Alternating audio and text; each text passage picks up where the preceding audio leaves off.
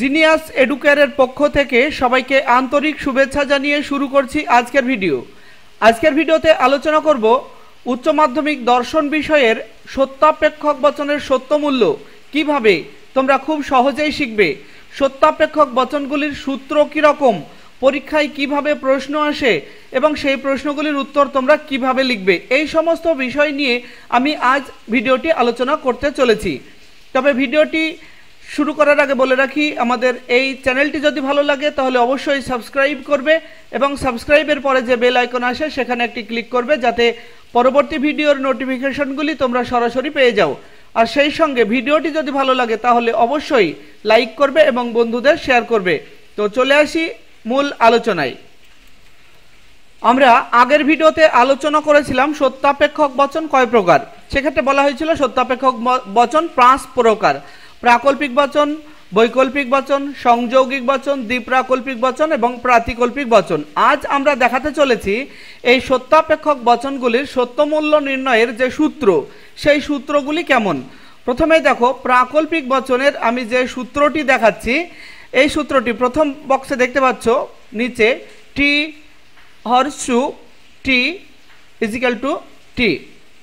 অর্থাৎ এই ক্ষেত্রে প্রাকল্পিক বচনের পূর্বগ সত্য এবং অনুগ সত্য যদি হয়, তাহলে মূল বচনটির সত্য মূল্য হবে সত্য।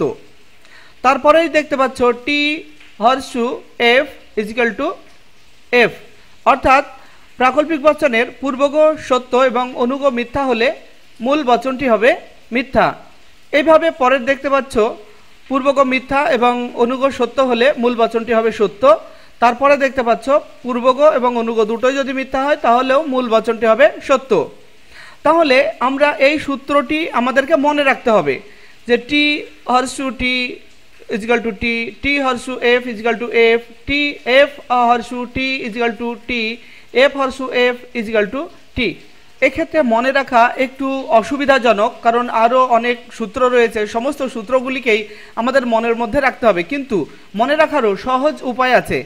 তো একবার দেখে নাও, এখানে দ্বিতীয় লাইনে তোমরা দেখতে পাচ্ছ, পূর্বক সত্য এবং অনুগ মিথ্যা হলে মূল প্রাকল্পিক বচনটি হবে মিথ্যা। আর বাকি সমস্ত ক্ষেত্রে যেভাবেই থাকুক না কেন পূর্বগ সত্য বা অনুগ, সত্য বা মিথ্যা যেভাবেই থাকুক না কেন, যদি অন্য আকার হয়, তাহলেই কিন্তু আমরা সিদ্ধান্তে দেখতে পাচ্ছি মানে মূল বচনটি হবে সত্য। আর শুধুমাত্র পূর্বগ সত্য এবং অনুগ মিথ্যা যদি হয়, তবেই আমরা বচনটিকে বলব মিথ্যা। অর্থাৎ T horseshoe F equal to F. একটি কথা মনে রাখতে হবে। আর বাকি সমস্ত ক্ষেত্রেই প্রাকল্পিক বচন সত্য হয়। এবারে ডান দিকে দেখো, সংযোগিক বচন। সংযোগিক বচনে এবং বসায় আমরা, এবং এর পরিবর্তে এখানে ডট আসে। তাহলে আমরা দেখতে পাচ্ছি যে দুটি সংযোগী আছে। T dot T equal to T T dot F equal to F তারপরে দেখতে পাচ্ছ F dot T equal to F F dot F equal to F এখানে আমরা খুব সহজে মনে রাখতে পারব এইভাবে, আমরা জানি সংযোগিক বচনের যে কোনো একটি সংযোগী মিথ্যা হলেই, মূল সংযোগিক বচনটি হয় মিথ্যা। তাহলে আমরা দেখতে পাচ্ছি এখানে যে সংযোগিক বচনের নিচের যে তিনটে আকার রয়েছে, তিনটে আকারে যে কোনো একটি দিকে এফ রয়েছে বা দুদিকেও যদি এফ থাকে, সেক্ষেত্রেও কিন্তু মূল বচনটি হবে মিথ্যা, অর্থাৎ এফ হবে। তাহলে এক্ষেত্রে মনে রাখার সহজ উপায় হলো যে কোনো একটি যদি এফ থাকে, দুটো দিকের মধ্যে যে কোনো একটি দিকে যদি আমরা এফ পাই তাহলে মূল বচনটি হবে মিথ্যা। সংযোগিক বচনের ক্ষেত্রে যে কোনো একটি সংযোগী মিথ্যা হলেই মূল বাক্যটি হবে মিথ্যা। এবারে আসব বৈকল্পিক বচন। বৈকল্পিক বচনের ক্ষেত্রে দেখতে পাচ্ছ টি ড টি ভেল টি ইজিক্যাল টু টি তারপরে T vel F equal to T F vel T equal to T তারপরে F well F is equal to F এই ক্ষেত্রে মনে রাখার সহজ উপায় হলো, বৈকল্পিক বচনের যে কোনো একটি বিকল্প, দুটো বিকল্প থাকে বৈকল্পিক বচনের যে কোনো একটি বিকল্প যদি সত্য হয়, তাহলে কিন্তু মূল বচনটি সত্য হবে। এটা হলো আমাদের মনে রাখার সহজ উপায়। তাহলে আমরা যে টি ভেল টি বা টি ভেল এফ ইত্যাদি যা কিছু আছে, তার মধ্যে দুটো সাইডের মধ্যে যে কোনো একটি দিকে যদি আমরা টি দেখতে পাই, তাহলেই এর মূল সত্যমূল্য হবে টি তাহলে আমরা বৈকল্পিক বচনের সত্যমূল্য খুব সহজেই এইভাবে মনে রাখব। যে কোনো একটি টি যদি হয়, বৈকল্পিক বচনের যে কোনো একটি বিকল্প যদি টি হয়, তাহলে মূল বচনটি হবে টি এবারে আসব দ্বি প্রাকল্পিক বচন। দ্বি প্রাকল্পিক বচনের ক্ষেত্রে দেখতে পাচ্ছ T three bar T equal to T T three bar F equal to F F three bar T equal to F এবং F three bar F equal to T এক্ষেত্রে আমরা মনে রাখব এইভাবে এর সহজ যে নিয়ম সেটি হলো দ্বি প্রাকল্পিক বচনের দুটো অঙ্গবচন থাকে এবং দুটো অঙ্গবচন যদি সমমান হয়, অর্থাৎ দুটো অঙ্গবচন থ্রি বারের দুটো দিকই যদি সমান সমান হয় টি থ্রি বার টি বা এফ থ্রি বার এফ দুটো দিক যদি সমান সমান হয়, তাহলে কিন্তু রেজাল্ট অর্থাৎ মূল বচনটি হবে সত্য। আর যদি দুটো অসমান হয় তাহলেই কিন্তু মূল বচনটি হবে মিথ্যা। আমরা দেখতে পাচ্ছি একদম উপরে রয়েছে, দুটোই সমান, দুটি অঙ্গবাক্য সমান, অর্থাৎ দুটোই টি এক্ষেত্রে রেজাল্ট হবে টি এবং সব নিচে আমরা দেখতে পাচ্ছি F three bar F equal to T অর্থাৎ এক্ষেত্রেও দুটোই সমান। মান যদি সমান হয়, তাহলেই তার সত্য মূল্য হবে সত্য। আর যদি অসমান হয়, তাহলে সত্য মূল্য হবে মিথ্যা। এবার আসব প্রাতিকল্পিক বচন। প্রাতিকল্পিক বচনের সত্য মূল্য হবে এরকম, যদি বাক্যটি কার্লটি থাকে, অর্থাৎ কার্লটি থাকলে ইজিক্যাল টু মিথ্যা, অর্থাৎ সত্য নয়। কার্ল কথার অর্থ হলো নয়, তাহলে সত্য নয় সমান মিথ্যা। বা যদি এরকম থাকে, মিথ্যা নয় ইজিক্যাল টু সত্য, উল্টো হবে সবসময়।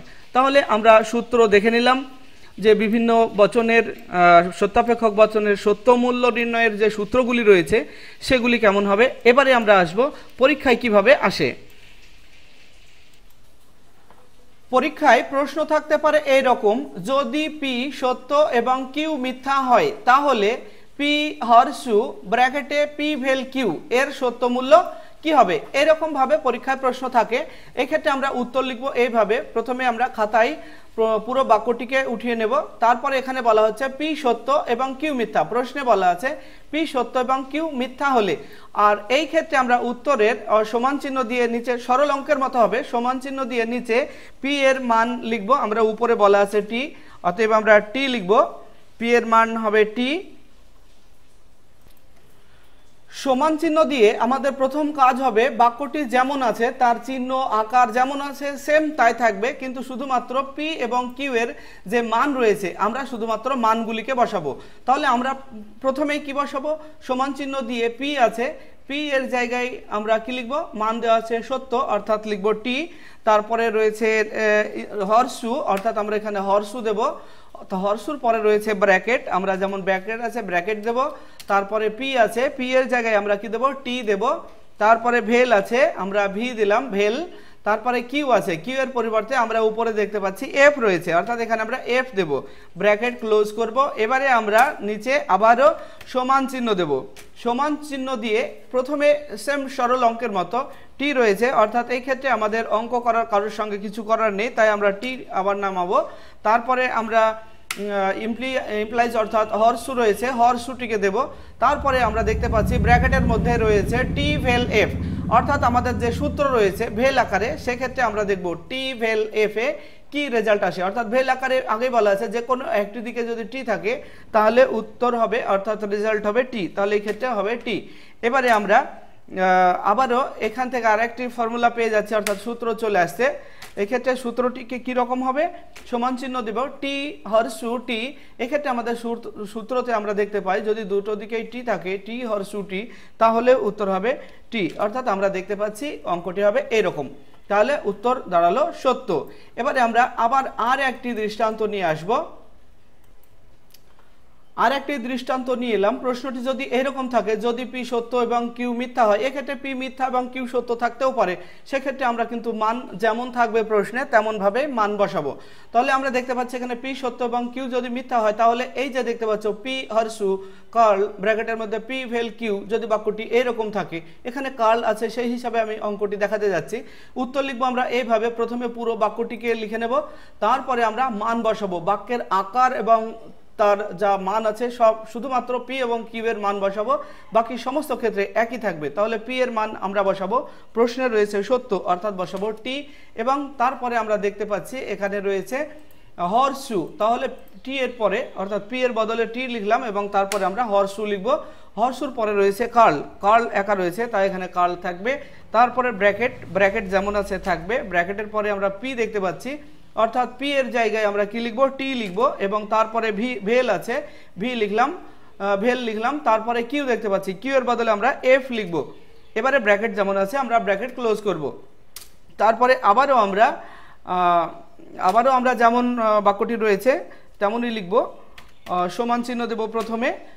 টি যেমন আছে, তেমন তেমন থাকবে। তারপরে হর্সু যেমন আছে, তেমন থাকবে। এবারে কার্লও একা একা থাকছে, তাই কার্ল থাকবে, নামবে। এবার আমরা কাজ করব কি, ব্র্যাকেটের ভিতরে যে অংশটি রয়েছে। কার্ল বাইরে আছে, তাই কার্ল থেকে গেল।